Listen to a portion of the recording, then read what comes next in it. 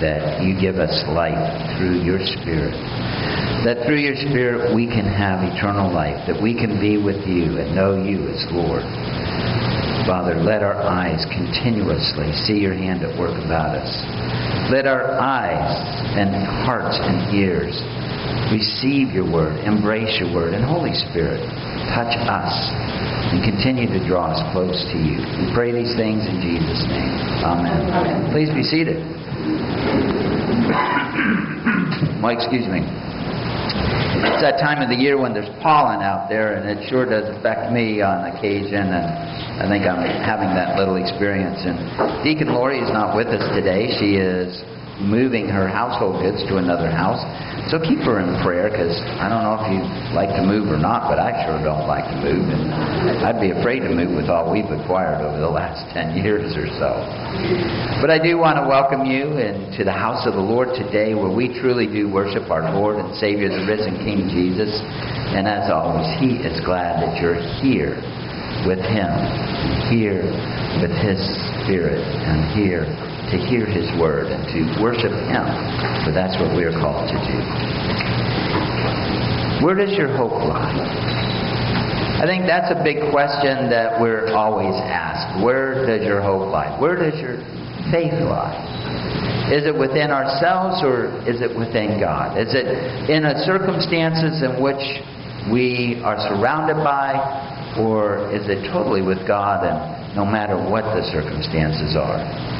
I think this is really the key theme that goes through all of these readings that we had today, from the Ezekiel prophecy of the dry bones to Paul reminding us that when we're alive, we're alive in the Spirit. And even with Lazarus and Mary and Martha, how our hope rests within Him and not within our circumstances. I love this passage in Ezekiel. We, we really speak about it, and maybe in terms that we shouldn't, but, you know, that old song, Them Bones, Them Bones, Them Dry Bones. Y'all probably have heard that at one time or another. But what we find is something very unique in this, and that God has taken Ezekiel and has taken him to this valley of dry bones, whether it's in a vision or whether it is actual physical transformation and taking him there to show the dry bones. And I think that's something we need to see because we always see these in westerns and things like that when they're riding the horse out through the desert. It's really hot and they come across these dry bones and you know the skeletons in the desert. And, you know, when I lived out in the Southwest, there were times that we went into the desert, and occasionally we would find those dry bones, those sun bleached bones, and knew that something had happened, that animal had died there. Dry bones have no life in them. Dry bones have, they're just there in the desert. But why did God take him there? Why did God show him these dry bones? I think it's interesting because in this passage, he says that they will know that I am Lord. They will know that who I am. And I think that's the message that we need to hear today. Are we willing to see that this is the Lord's work? We, no matter where we are, or what our circumstances is. Israel had been taken into exile. The Babylonians had set them apart and moved them around and took some here, some there, and some of the poorest were left in Judah. And what we find is that they had lost that hope. They had lost that hope. They had lost that richness of who God is. They'd lost the richness of their faith. And they felt dried up. And sometimes I think that's what happens to us in our faith, that we feel dried up. That, God, where are you? In this passage, it also says that, that they had no hope, that their hope was gone. The bones are dried up and our hope is lost and we are cut off completely. Have you ever felt like that? Have you ever felt that God has separated himself from you? Have you ever felt like you're out there alone? Where is your hope? There's a song we sing, in Christ alone my hope is found.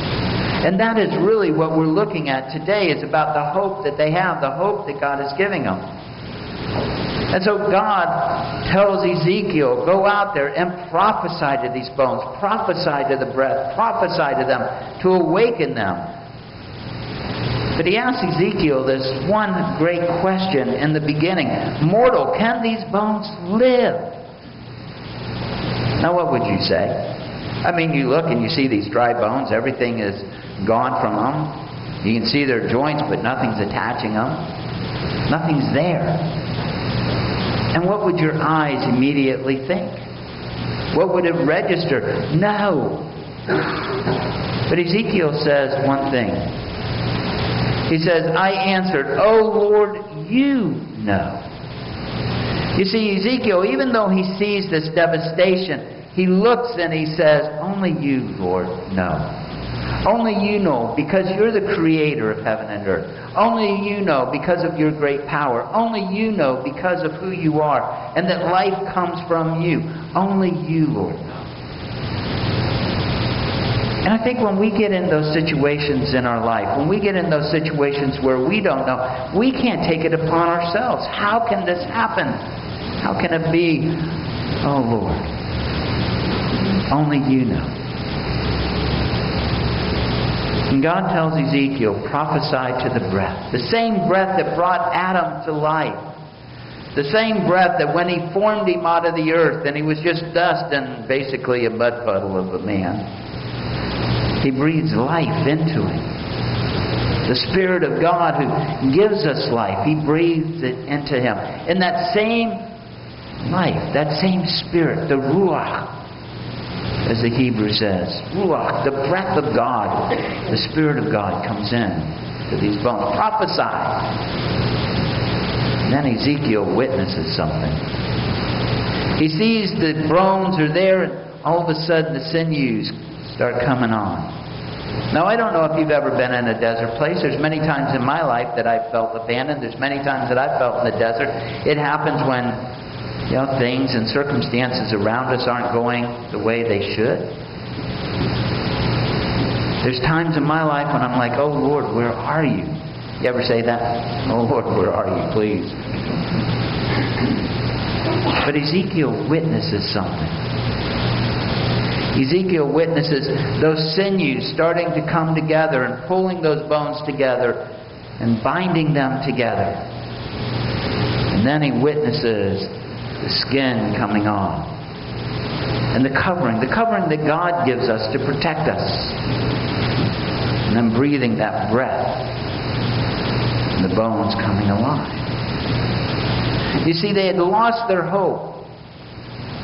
They were in exile. Things were not the way they were. They were in a bad situation, and yet God is reminding them, I am the Lord, that they may know that I am the Lord, because it's only through the Lord that things could get to the better. It's only through the Lord that they could be carried through their situation. It's only through that situation that they may know that I am Lord, and God reveals Himself in a powerful way to them. When we look at our gospel lesson today, it's no different. Mary and Martha and Lazarus, who knew Jesus personally, He'd been at their home. We all know the story of Martha and Mary, right? Well, Mary, why are you out there sitting at his feet? But we know that he loved them. Bethany is only about two miles away from Jerusalem, and the Jews and the Pharisees have been planning and trying to stone Jesus, and yet Jesus says, We are going to go. And his disciples said, What? You're going to go back into that territory? You know they're trying to kill you, right? Jesus, you sure you want to go? Don't we always try to take control sometimes of what the Lord's going to do? We want to say, well, Lord, if, if I were you, I would do it this way, or Lord, let's do it this way. But you know what? Jesus said, no, we're going to go. We're going to go, and God is going to be glorified. Thomas, he doesn't fully understand it Thomas I like. Because Thomas really, even though we t- say he's doubting Thomas, Thomas is willing to follow Jesus wherever Jesus is going to go, whether it's in danger or not. He may not understand, and he doesn't understand, what's going to happen or how it's going to happen. He just understands that Jesus is the Messiah. Martha has confessed that Jesus is the Messiah and the Son of God, and he's willing to follow even in the face of death. Because he doesn't fully understand how Jesus is Lord, but he's still willing to follow him. Let us go. Let's follow him in there. Are we willing to follow Jesus in that capacity? Are we willing to go forward? Are we willing to stand beside Jesus no matter what the circumstances and whoever says anything to you or about you or maybe he takes you to a weird place? But are we willing to follow? Do we have that kind of faith to follow? Thomas didn't know. And then they say, well, you know, Lazarus, he's only sleeping. He'll awake. He'll be fine. Jesus has to really point out to them, he's dead. Hello? He's dead. But we're going to go. We're going to go. Jesus calls to, lets Martha know that he wants to see Mary. Mary comes and starts running out to meet him, and others thinking that she's going to the grave or to the tomb, which would be outside of their village or near their village. Would be going to there. It's like we would go to a cemetery to pay our respects, and she goes out there and goes to meet Jesus. And what does she do? She falls at his feet. She falls and kneels at his feet. But sometimes I think we interpret what Martha and Mary said in a wrong context. Well, Lord, if he'd been here, my brother would have lived. It's not that way at all. You see, they knew that if Jesus had been there, he'd healed the blind man, he'd healed so many other people, that if he had been there, that her brother would have been healed. It's not like, well, Lord, you should have been here. Now, there were those that said that in that gospel, and they said, well, if he healed the blind man, why couldn't he be here?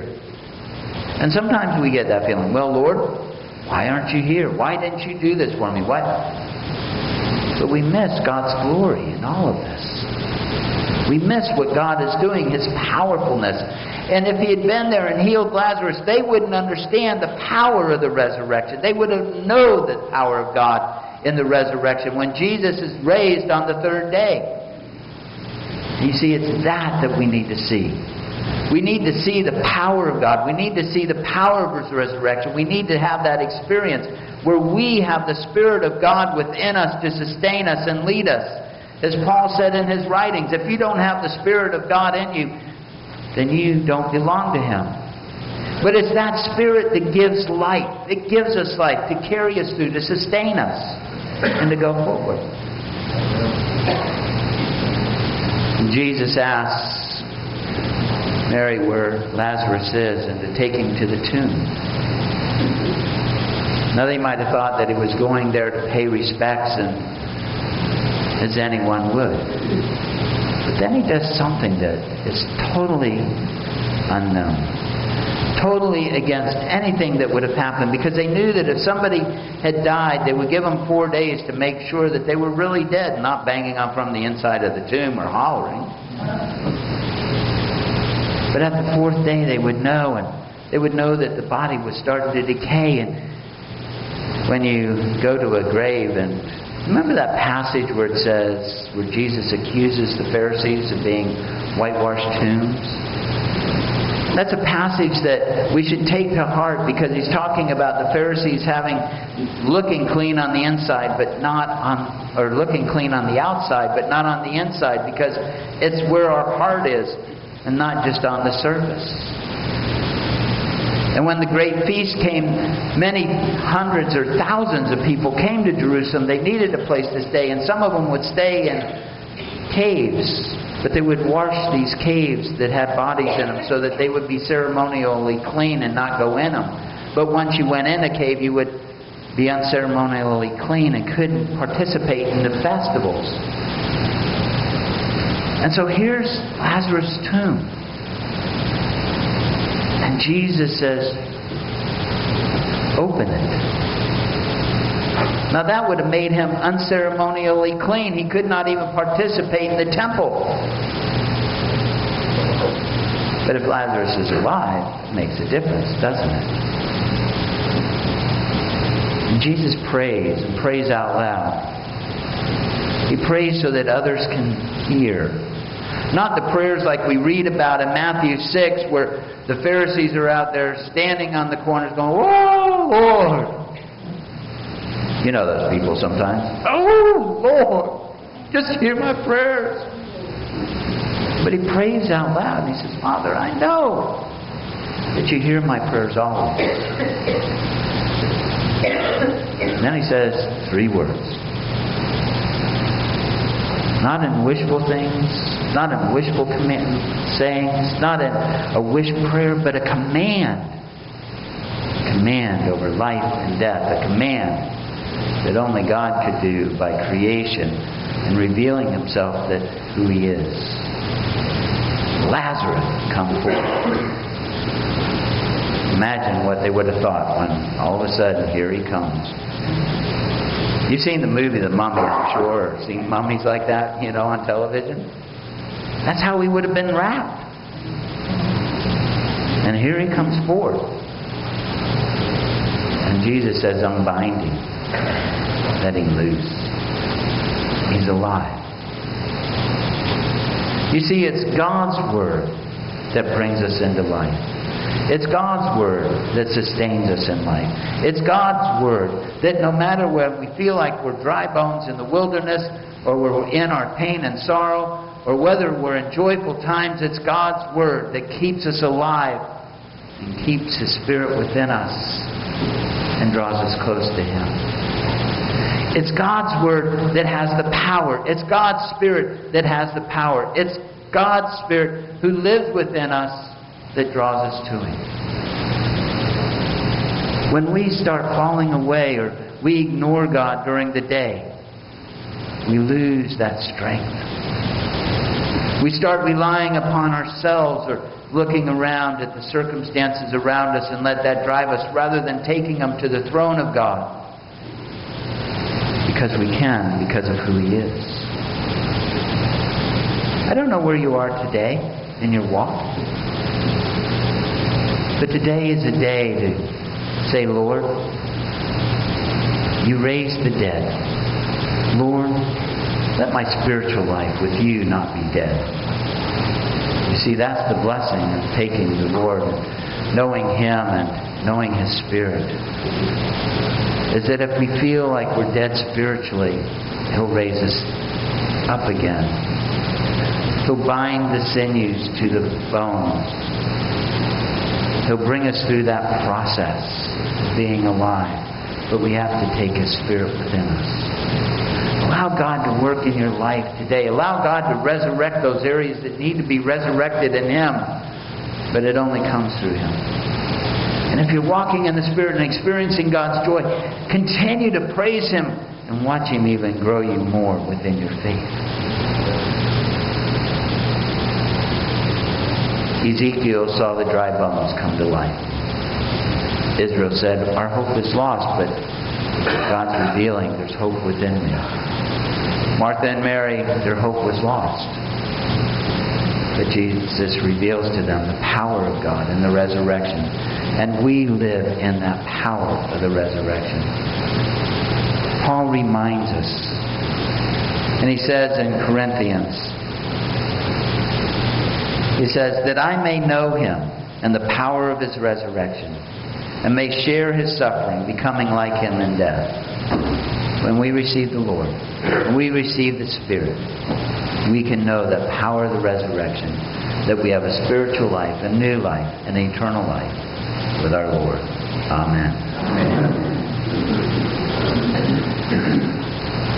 The works that you have called us to do with those who are going to the source today to feed the homeless, to go out beyond our four walls. Will you come forward today so that we may send you out with a blessing? All those who are going to the source, all those who are going to serve, they're all in the kitchen?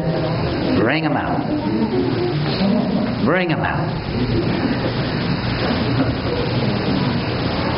I often look at ministries and I say, are they a four wall ministry or a beyond the walls ministry? Beyond the walls. And we want to do Beyond the Walls ministry. And that's what the source is. It's a Beyond the Walls ministry. It is those who go out into the world as Jesus has called us to go out into the world. It is those who go out to touch the lives of those who are in need, those who render God's grace to those and share His love and His mercy. These will be those who are going down to express God's love. They're going down to express how much they know that God loves those that are less, or have less than we have. And so these are the ones who have come together, who have helped put the mats together, who have helped put the bags together, but are taking that source of nutrient, food as it is, material food, but also hopefully a spiritual food that they would need. Let us pray. Heavenly Father, you said where two or three are gathered together, that you are in their presence. Father, we thank you for the hearts of these that are called to go forth into the world, to do the things that you called them to do. Father, we ask that you would use them as your instruments, as your vessels, that those who do not know you, those who do not have the hope in you, those who want to know you, may see your love manifested through their hands as they serve those who are in need. Bless them on their trip going. Bless them as they return. We pray these things in Jesus' name. Amen. Thank you all for your service.